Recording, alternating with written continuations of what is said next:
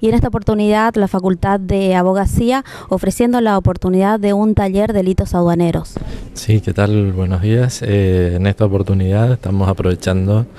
eh, para realizar una actividad que periódicamente vamos a realizar durante este año,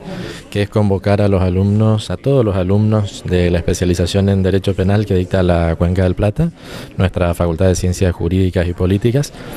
este, con lo cual estamos aguardando gente de Formosa, de Misiones, de Corrientes, del Chaco,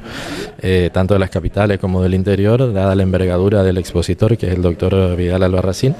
uno de los probablemente el más encumbrado de los expositores en esta materia, y también aprovechando para la oportunidad para hacer un, seminario abierto a toda la, la comunidad jurídica, a la comunidad del comercio internacional, por la relevancia que tiene el tema en la región. Justamente el público que va destinado no solamente es profesionales en la abogacía.